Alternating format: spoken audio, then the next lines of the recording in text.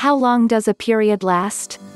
The menstrual cycle, which is counted from the first day of one period to the first day of the next, isn't the same for every woman. Menstrual flow might occur every 21 to 35 days and last 2 to 7 days.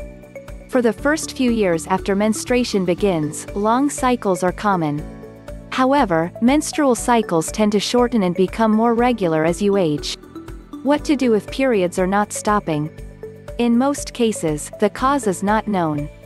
Known causes of abnormal uterine bleeding include polyps, fibroids, endometriosis, medication, infection and some forms of contraception.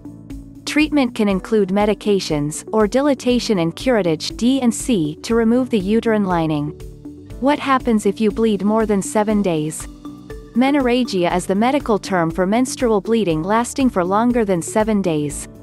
About 1 in every 20 women has menorrhagia.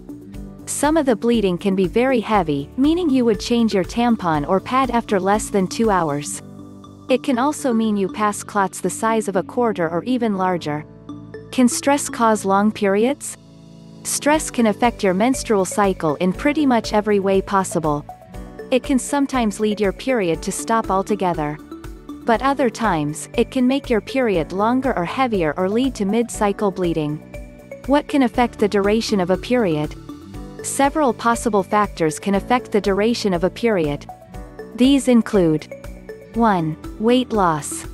Losing an excessive amount of weight can shorten the length of menstruation. Eating disorders, such as anorexia, may also contribute to shorter or even non-existent menstrual flow. 2. Exercise.